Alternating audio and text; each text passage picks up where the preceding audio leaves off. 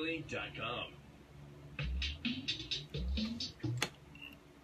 You know, talk about why we don't want sports to be more politicized. By the way, I'm Marky Billson, Tri City Sports Now.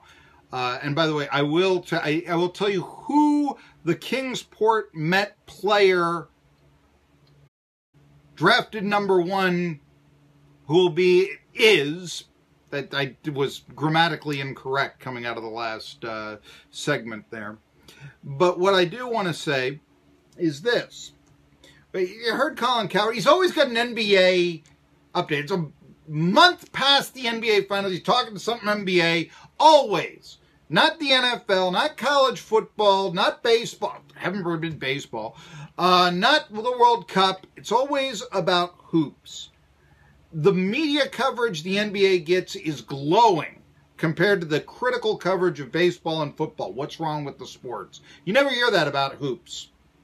And with all of that, why then isn't the NBA the most popular pro sports league in the country? We all shoot hoops.